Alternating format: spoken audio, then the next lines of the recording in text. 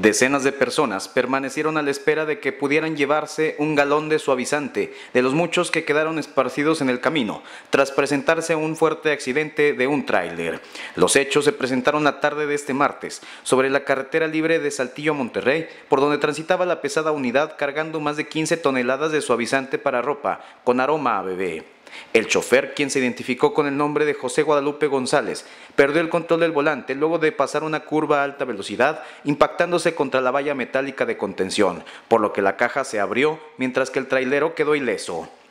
Gran cantidad de mercancía que traía a bordo terminó en el suelo a la altura del kilómetro 50, por lo que la compañía aseguradora acudió para calcular los daños cuantiosos que resultaron y verificar la mercancía que estaba asegurada. Poco a poco más gente se detenía para poder esperar el momento en el que pudieran tomar algo de este producto y al final se les informó que la mayoría de los galones que quedaron tirados ya no servían, por lo que sí pudieron llevárselos. Para RCG informó Alejandro Martínez.